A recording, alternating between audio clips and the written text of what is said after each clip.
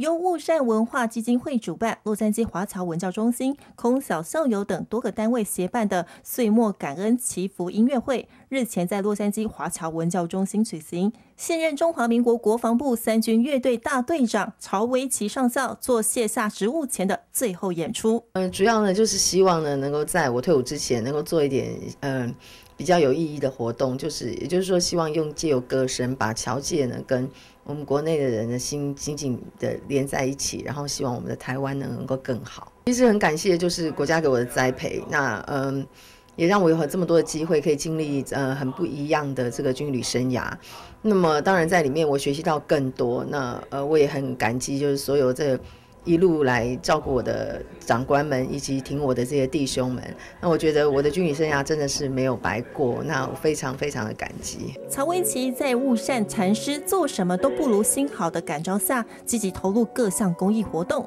同时，他自己本身也是一位知名的女高音，这次他演出多首民谣以及创作型歌曲等作品，期盼用歌声将海内外的华人的心共同串联，为大众祈福。